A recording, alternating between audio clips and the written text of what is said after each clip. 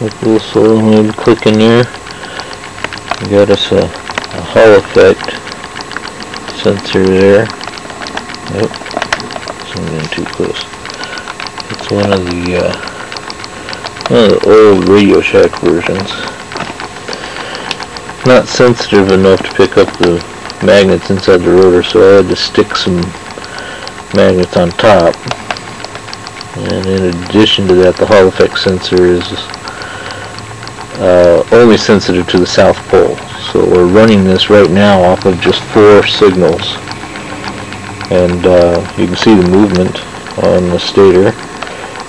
As Open said, it only takes about 5 degrees of uh, travel on the stator in order to, to get the rotation.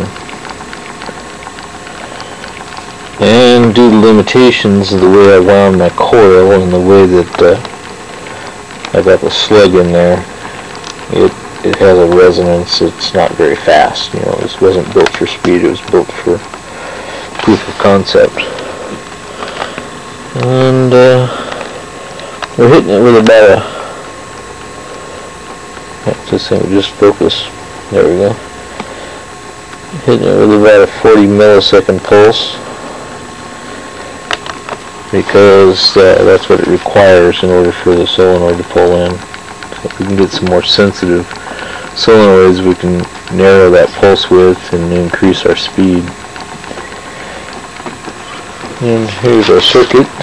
We're firing a 555 off of the uh, Hall effect sensor, running that into a standard TIP 120, and uh, kicking our solenoid with that. We've got a couple extra caps over here to give it a little more juice. And it runs. And the cool thing about it running is it's running off of the stator motion. It's not running off of uh, electromagnetic power other than that 40 millisecond pulse that we're pulling the stator with. So, proof of concept, it's proven. And, uh, why should I hate to do this to a running machine? For all those skeptics out there, it's just a rotor with magnets in it and a Hall effect sensor, as I said, nothing more.